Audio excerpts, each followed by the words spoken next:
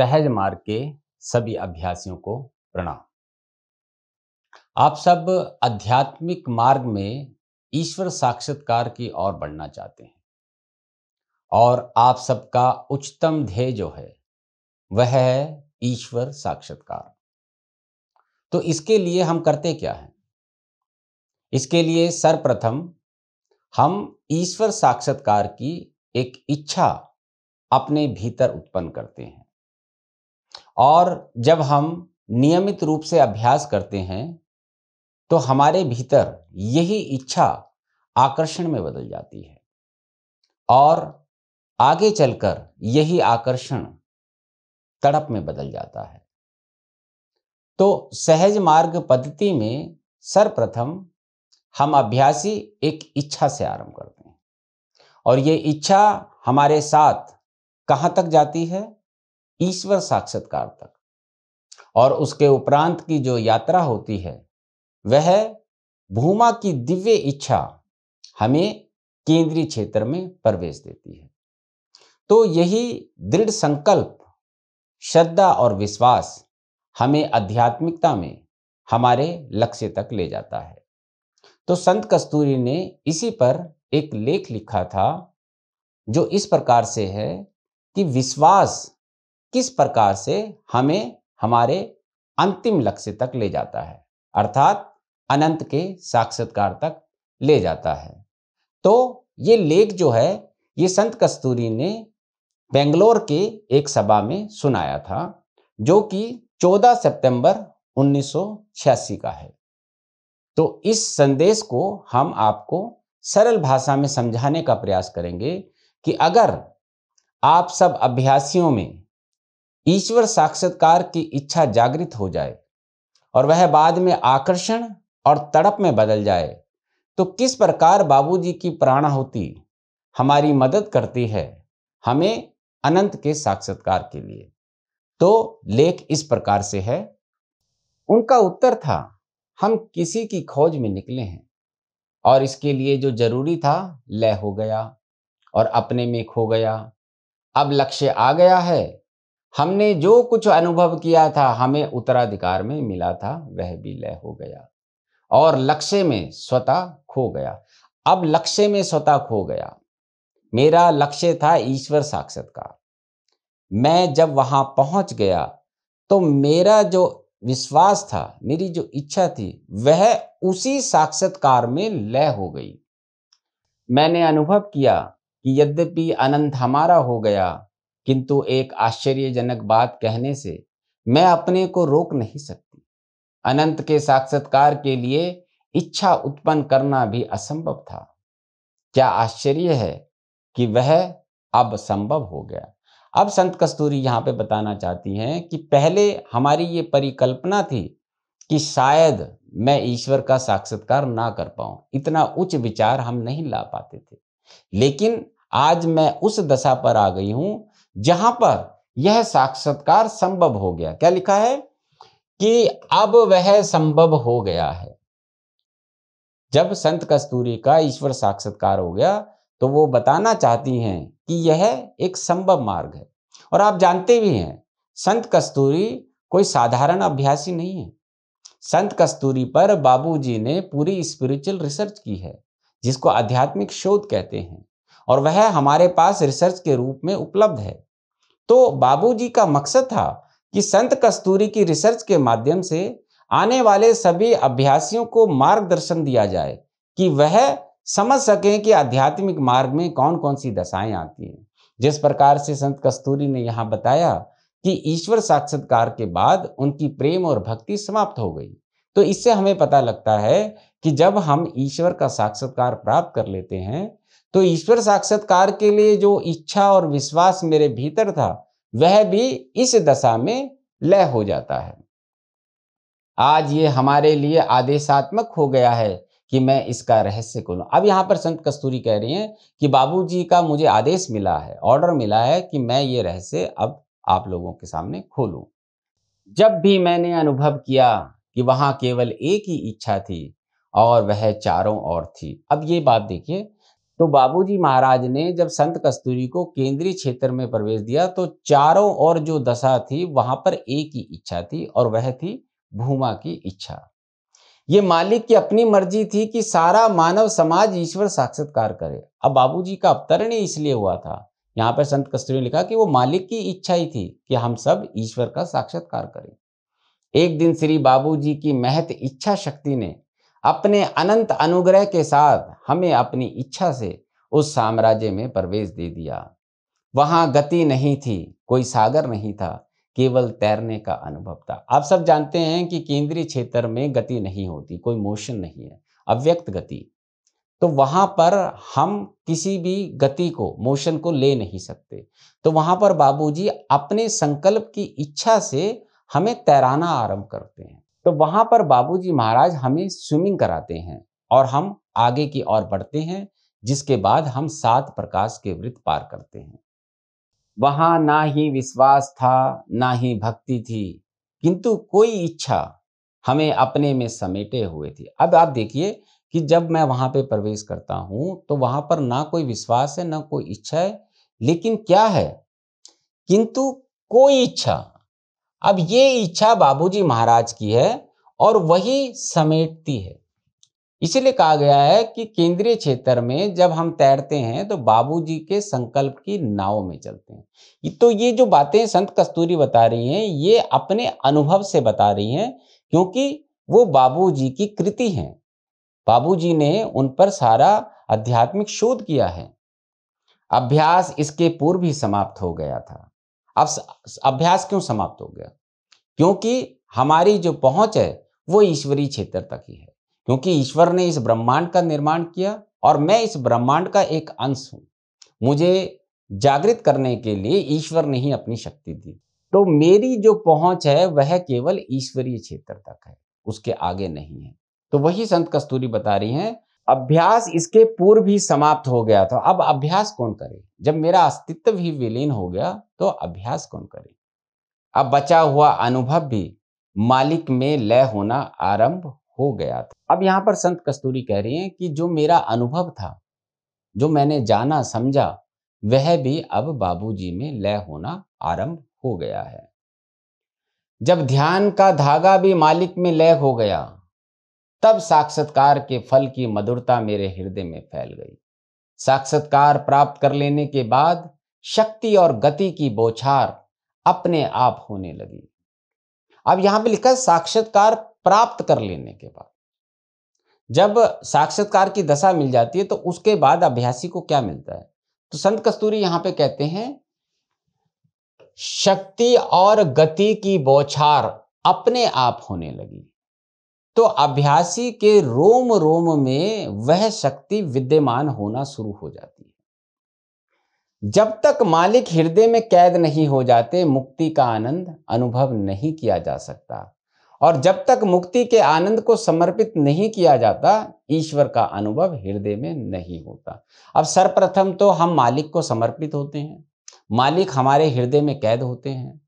उसके बाद हमें उस चीज़ का आनंद मिलता है। किसका? मुक्ति का आनंद। लेकिन मुक्ति का आनंद भी आगे जाके समर्पित हो जाता है। क्या लिखा है? कि मुक्ति का आनंद समर्पित हुआ और ईश्वर का अनुभव। तब जाकर ईश्वर को हम अपने हृदय में अनुभव करते हैं कि यह वही ईश्वर है जिसकी इच्छा करके मैंने सहज मार्ग पत्नी को अपनाया था। ऐसा अनुभव हुआ कि शरीर के अंग अंग जो भौतिक रूप में एक दूसरे से जुड़े हुए थे, सभी टूट कर बिखर गए हैं और उसके बाद अंग अंग को मुक्ति मिल गई है। इसके बाद हमारे जीवन के अस्तित्व को कायम रखने के लिए मालिक हर कण को पुनः जोड़ देते हैं और हमें रूपांतरित तथा दिव्य हस्ती की तरह खड़ा कर देते हैं। अब जब ईश्वरीय शक्ति आपके एक एक रोम में कण कण में विद्यमान हो जाती है तो क्या होता है? एक जगह पर संत कस्तूरी ने लिखा है कि हमारा एक एक सेल जो है, वो अपने आप में केंद्र बन जाता है।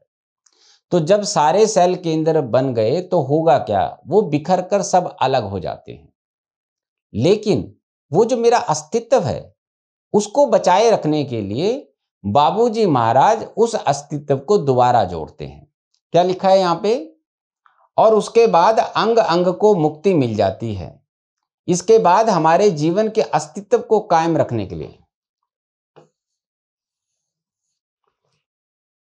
ये जो मेरा जीवन है, ये मृत्यु के बाद ही खत्म होता है। तो इस जीवन को बचाए रखने के लिए बाबूजी महाराज क्या करते हैं, हर कण को पुनः जोड़ देते हैं और हमें रूपांतरित तथा दिव्य हस्ती की तरह खड़ा कर देते हैं। इसका यह अर्थ हुआ कि जब हम अनंत का सागर पार कर लेते हैं तो बाबूजी महाराज हमें अवतारी हालत प्रदान करते हैं और हमारा भौतिक रूप उसका महत्व समाप्त हो जाता है और हम रूपांतरित होकर दिव्य हस्ती बन जाते हैं। हम एक डिवाइन पर्सनैलिटी बन जाते हैं। तो यह सहज मार्ग की खास उपलब्धि है। तब लय के वरदान से दर्शन होता है। अब मैं पूर्णता लय हो गया और लय होने के बाद मुझे साक्षात्कार का वरदान मिलता है। तो इस तरह से देखिए आप कैसे इच्छा, विश्वास में बदली, विश्वास जो है आकर्षण में बदला, आकर्षण जो है तड़प में बदला और हम आगे बढ़ते गए और धीरे धीरे हम साक्षात्कार तक पहुँच गए। हम अपने इस विलयन को एक साक्षी बनकर देखते हैं। अब हम अपने विलयन को, विलयन का मतलब मेरा जो अस्तित्व है, वो ईश्वर में विलय हो गया तो हम उसी को देख रहे होते हैं। यदि कोई मुझसे प्रश्न करे कि मैं किसकी साक्षी हूँ और किस प्रकार का विश्वास हम में है तो मैं उससे क्या कह सकती हूँ या दिखा सकती हूँ? क्योंकि लय का वरदान मिलने के बाद अंतिम सत्य का द्वार खुल जाता है। अब जब मैं पूरी तरह ही लय हो गई तो मैं कैसे बताऊँ कि मेरा अस्तित्व क्या है? मैं कौन हूँ? क्योंकि मैं उस सागर में लय हो गई जहाँ से मैं निकल के आई थी। तो वही चीज़ संत कस्तूरी ने यहाँ कही है, मालिक ने हमारे साथ क्या आश्चर्य किया? अब अद्भुत हुआ हमारे साथ। उसी के बारे में संत कस्तूरी अंत में बता रही हैं, हर चीज़ को सुधार कर और सुंदर बनाकर उन्होंने कोई ऐसा चिन्ह नहीं छोड़ा। अब हर चीज़ को सुधार कर और सुंदर बनाकर। जैसा मैं प्योरेस्ट फॉर्म में था सृष्टि रचना के टाइम बाबूजी महाराज ने बिल्कुल मुझे वैसा ही सुधार कर और सुंदर बनाकर कोई ऐसा चिन्ह ही नहीं छोड़ा कि मैं कुछ बता सकूँ। जिससे पता चल सके कि किसको सुधारा गया और किसे सुंदर बनाया गया। क्योंकि जो आवरण हमने अपने अस्तित्व पे चढ़ाए थे वह सारे जब वृत्त खत्म हो गए, सारे संस्कार समाप्त हो गए, सारे आवरण खत्म हो गए तो फिर मैं क्या बताऊँ कि बाबूजी ने क्या सुधारा है? क्योंकि ये सब आवरण मैंने ही अपने अहम के कारण अपने ऊपर चढ़ाए थे। सब चीज़ों का आशीर्वाद मिलने के बाद दिव्य विश्वास ने हमें ही लूट लिया। अब ये जो दिव्य विश्वास है, ये बाबूजी का विश्वास है।